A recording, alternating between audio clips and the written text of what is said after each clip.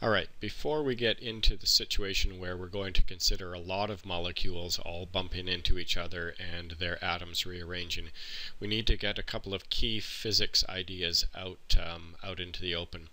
So uh, we're going to watch this uh, demo here and it's going to be very cool. So start, here we go. All right. Check out how high these different balls bounce. The basketball, the super bouncy ball, and the golf ball. Now I'm going to try the golf ball on top of the bouncy ball on top of the basketball. And then I'm going to explain how it's related to a supernova. Can you see that? Not. So here it is again. The golf ball bounced to 28 feet. We dropped it from about 3.5 feet, so it went up 800% of its dropped height. In fact, if you consider that by itself, the golf ball bounces about 70% of its dropped height, it went as high as if it had fallen from 40 feet up. That is awesome. So how can we get the golf ball to bounce up with that much energy? Let's simplify it to these two balls.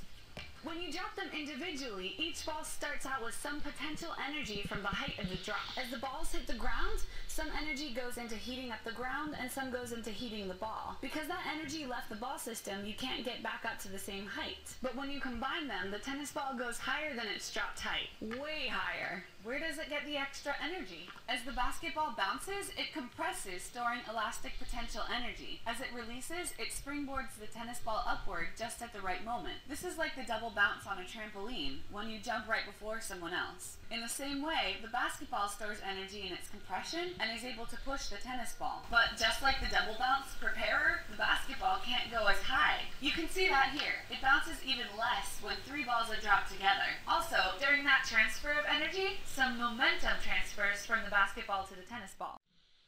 Okay, so we'll stop there. And a key idea was that uh, last little idea that um, during this particular event here, instead of the basketball bouncing all the way back up, uh, basketball bounces down here and only goes part way up. And so, in other words, the basketball's kind of slowed down. In her language, uh, it's lost momentum. So now we're going to switch over to the PhET simulation. We're going to see the same idea right in here. So we've seen this before. We know that if we pull on the red lever, we're going to increase the total amount of energy. Now what I want you to see is there's zero motion energy in these particles right here because they're standing still. And so what we'll do is we'll give this particular object right here, we'll give it maybe, I don't know, this much energy here. So if this is 100 units, then we'll give it maybe 40 units of energy. You'll see this thing go fairly quickly, and then after the collision, the um, sum of its energy, and probably about 90% or maybe 95% of the motion energy transfers into here, and maybe 5% stays here. Just like when we go back to, where is that thing in here? So just like these objects still continue to move, but some of their energy gets transferred into another object. It means that the total energy total energy never changes. It's just the energy transfers into different um, containers, if you will, for lack of a better phrase. The container being the particles. So let's take a look at that. So we'll over on the green bar, we'll give it 20 or 30 units of energy. Yellow ball is going to move very quickly, transfer its energy to the um, purple and gray ball. Notice that the yellow ball still has some energy, still has some energy. They both still have some energy. Key point is that the total energy hasn't changed. So I, can I hit pause on this? Yeah, I can. So you saw that this thing is still moving and this thing is still moving. So if we added, let's say, 30 units of energy, if this was 30 units of energy, 25 units of energy are in here, 5 units of energy are in here. We'll hit play. And I'm thinking now probably 29 units of energy are in here and only one unit of energy is here because I look how small it's, I can see how small it, or how slow it's moving. And a moment ago we could see that virtually all 30 went into here because this thing was sitting still. Okay, so how does that play out insofar as um, this equilibrium situation is concerned? And the answer is because in equilibrium, in real life situations, we're dealing with many particles.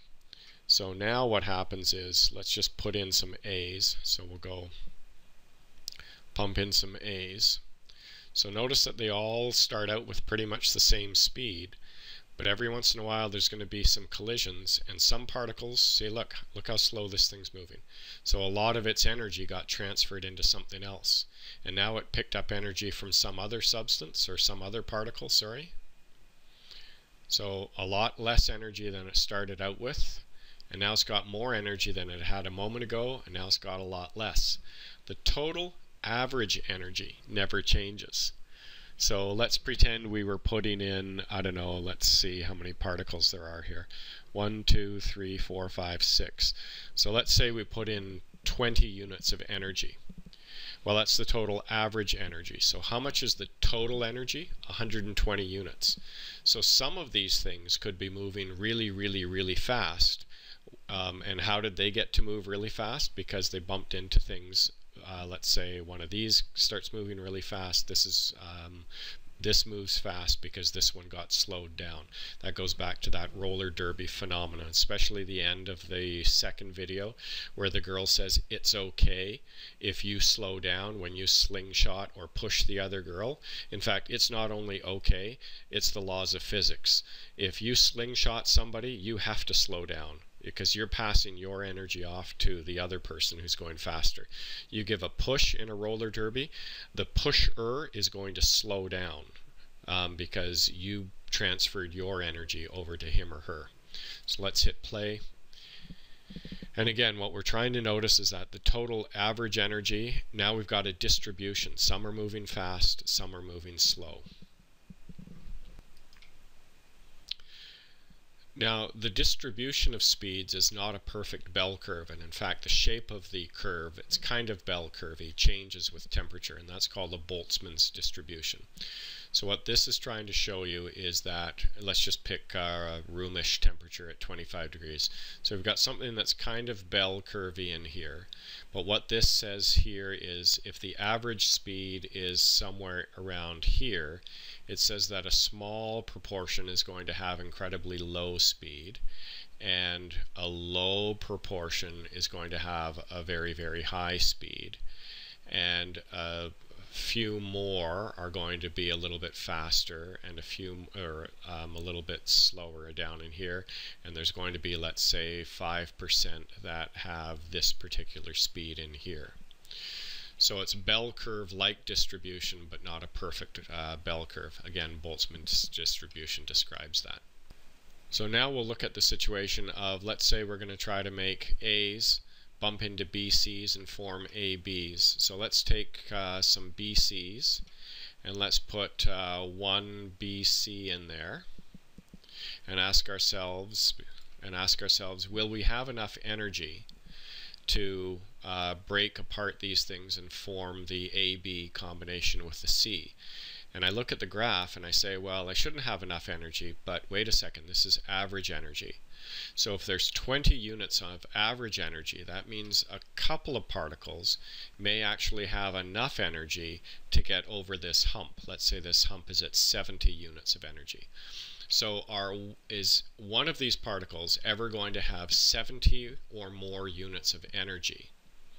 And if if one of these particles ever happens to have 70 units of energy and it happens to bump into this particle and it happens to be oriented, this thing is maybe spun around the other way, if all of those combinations happen at the right time and the right place, then we'll get a chemical reaction which is to say a rearrangement of the atoms. So we're looking for something really fast to bump into this. And so is there a really fast yellow one? Oh, there's a really fast yellow one, but it's not bumping. Oh boy, if only we could somehow encourage this reaction. Well, wait a second. What if we put in more particles? Let's put in some more BCs. If we put in some more BCs, we're increasing the likelihood of a B of an ABC combination bumping into and I notice that some of these particles are moving a little bit faster. Tell you what, let's increase the temperature. Notice how the average energy, total average energy goes up.